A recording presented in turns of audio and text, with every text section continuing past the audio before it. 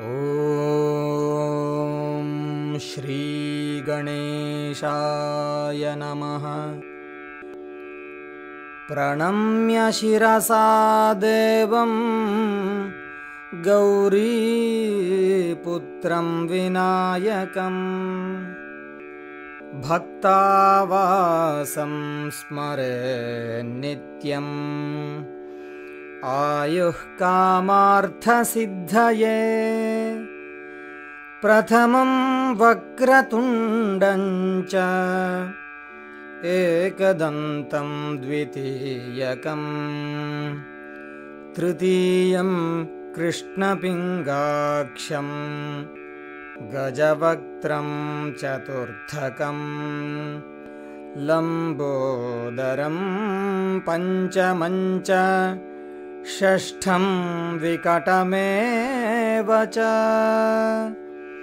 सप्तमं विघ्नराजञ्च धूम्रवर्णं तथाष्टमम्। नवमं भालचन्द्रञ्च दशमन्तु विनायकम्। एकादशं गणपतिं द्वादशन्तु गजाननम्। द्वादशैतानि नामानि त्रिसन्ध्ययः पठेन्नरः। न च विघ्नभयं तस्य सर्वसिद्धिकरं परम्।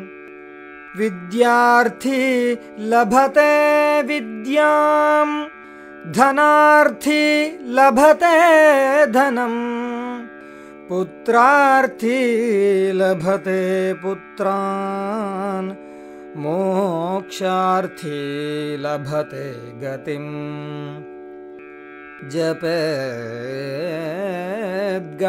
जपेद्गणपतिस्तोत्रम् षड्भिर्मासैः फलं लभेत् संवत्सरेण सिद्धिञ्च लभते नात्र संशयः।